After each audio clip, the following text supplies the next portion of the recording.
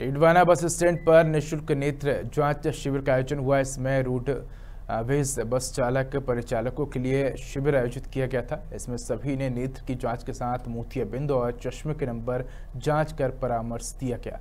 बता दें कि सड़क दुर्घटनाओं में कमी लाने के उद्देश्य से रोडवेज़ डिपो स्तर पर कैंप लगाकर ड्राइवरों की आँख जाँच कराने का निर्णय लिया है और जाँच में जो ड्राइवर नेत्र दोष से परेशान होंगे, उनका उपचार किया जाएगा। इस दौरान रोडवेज़ के प्रबंधक बसंत पवार भी मौजूद रहे। आज डिडवानागार के अंदर एएसजी आई हॉस्पिटल व रोडवेज़ के संयुक्त तत्वाधान में आज नेत्र चिकित्सा शिविर आयोजन किया जा रहा है, जिसमें मुख्यालय द्वारा दिए गए निर्देशों की पालना में भी, जिनके द्वारा निर्देशित किया गया है कि जो भी आगार में कार्य चालक या परिचालक हैं, उनके संबंधित नेत्र चिकित्सा चेक, नेत्र चिकित्सा संबंधी जो भी समस्याएँ हैं, उनका निदान यहाँ पे किया जाए उसके संबंध में ए आई हॉस्पिटल द्वारा आज कैंप आयोजित किया गया, जिसमें डॉक्टर डॉक्टर, संबंधित डॉक्टरों द्वारा नेत्र से संबंधित परीक्षण किया जा रहा है।